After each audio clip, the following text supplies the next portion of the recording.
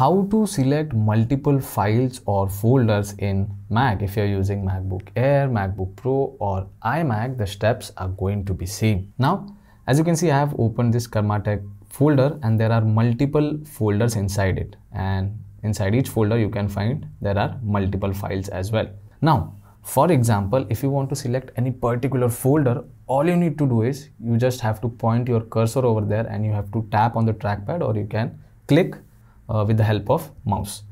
So by this, you can select any particular folder or file you want. Now, for example, if you want to select multiple files, you can either, you know, click and drag on the trackpad like this to select multiple files and the same you can do with the mouse. Now, if you don't want to select multiple files with the help of uh, trackpad, all you can do is you can press command plus A on the keypad to select all the files or folder which is present in that particular folder.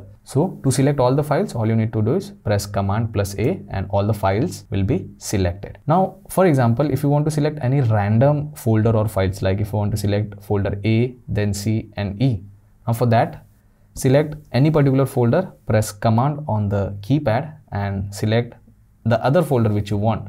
With the help of this, you can select multiple random folders or files at the same time. Now you can do the same thing with the shift key when you are on icon mode. Now for example, if I select folder A, if I press shift, then I select folder B and then D and then F and G. Now you can see I have done the same thing which we have done with the help of command key but this will only happen when you are in icon because as soon as you switch in list and now if I use shift key for example if I want to select A and after that I want to select E folder.